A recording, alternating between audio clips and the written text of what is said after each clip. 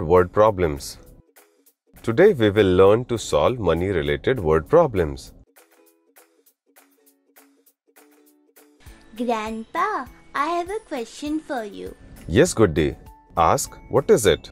Grandpa, if we sell these mangoes in market, how much money will we get?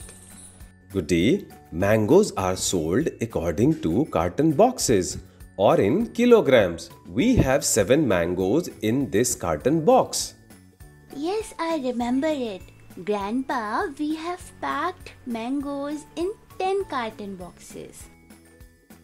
Right. So if the price of one carton box is 150, then what will be the price of 10 carton boxes? It will be 150 multiplied by 10, so the price will be 1500 rupees. Absolutely right. Okay, Grandpa. So our total expenditure is rupees 1500. Right, Grandpa? No, Goody. We have other expenses too. Yes, Grandpa. I have seen you give 30 rupees for parking. Where else have you spent, Grandpa? Yes, we drove vehicle too, so petrol is also spent, right? Oh, Grandpa, how much petrol is spent? About half a liter. And how much a liter of petrol costs? 78 rupees. So, half a liter will cost half of 78 means if we divide 78 by 2 we'll get 39 Add 30 rupees of parking to this too. 30 plus 39 is 69 rupees grandpa. So our total expenditure will be 1500 plus 69 that is 1569 rupees grandpa Okay, look. I have these many notes and coins with me. How would you make 1569 out of these? One minute, Grandpa.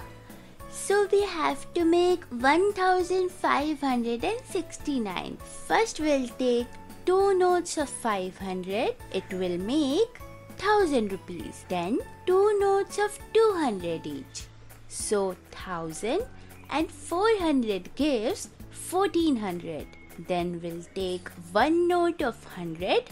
Now, it makes 1500 one note of 50 so it becomes 1550 one note of 10 so it becomes 1560 one coin of 5 so it becomes 1565 and two coins of 2 rupees now it becomes a total of 1569 Very good, Goody. But we have used so many notes in this.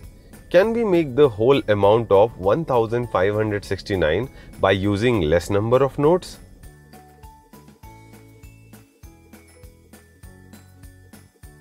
But Grandpa, how can we make 1569 by using lesser number of notes than this? Can we use a 2000 note for this? But Grandpa, it's more than 1569. How much more is it? If we subtract 1569 from 2000, we will be left with 431 rupees. Oh, wow, Grandpa. It worked with only one note. Very good. Now tell me, if I give you a 2000 rupee note and you have to give me back 431 rupees, then how will you make 431 out of these notes? Two notes of 200, one note of 20, one note of 10, one coin of 1 rupee.